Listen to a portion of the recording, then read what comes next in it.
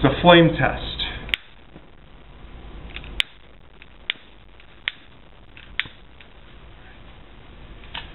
Now, the blue color that you're seeing immediately is going to be methanol burning.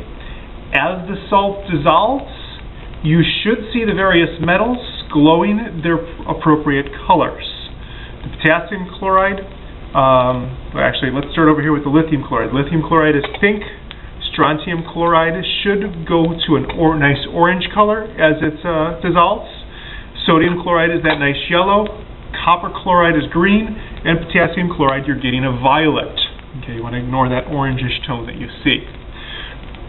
The whole reason why these five different metals give off five different colors is because the uh, the metal, as the methanol burns, the methanol, uh, at, I'm sorry, as the methanol burns, the metal is gaining energy. The outside of the metal has electrons on it, and that's what's actually gaining the energy. So the electrons jump in energy level. Uh, as they fall back down uh, to their ground state, what comes up must come down, so those electrons must go back to their normal states.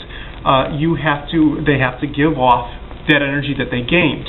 They can't destroy the energy, so they give off the energy in, in discrete packets, uh, very specially sized packets that we call photons. These photons right now currently are visible to uh, in visible light spectrum.